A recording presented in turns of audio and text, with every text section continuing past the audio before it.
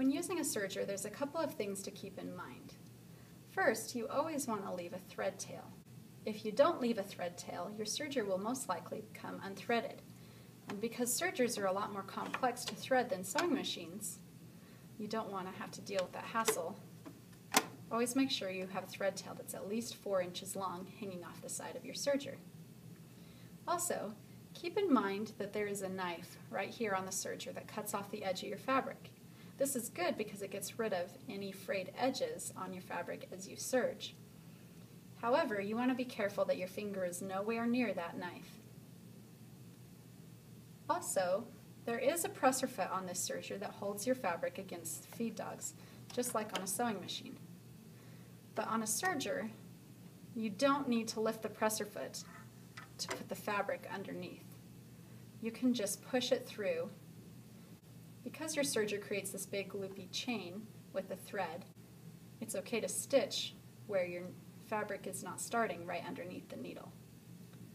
Next, never use pins when you're serging. Sergers move quickly and there's no need to have pins. You don't want the knife to hit the pin, which will probably break and come back flying at your face. So to serge, I'm lining up the edge of my fabric with the edge of the machine here. I'm going to push the foot pedal and guide the fabric through the machine. Notice where my fingers are. They're not close to the presser foot, they're not close to the knife, they're back away, out of harm's way. As I serge, do you notice this little fabric that's hanging off the edge?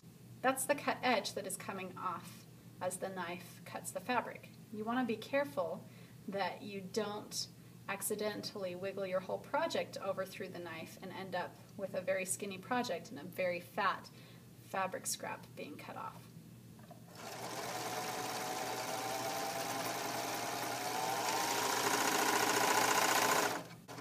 As you finish, make sure you keep pushing the foot pedal to create that long thread tail chain. And then you always want to cut your thread tail. Don't ever drag this around and have the knife cut off the thread tail.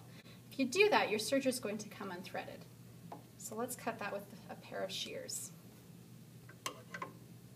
Before you get up, make sure that you look around your serger for any scraps of fabric that have come off and throw those away.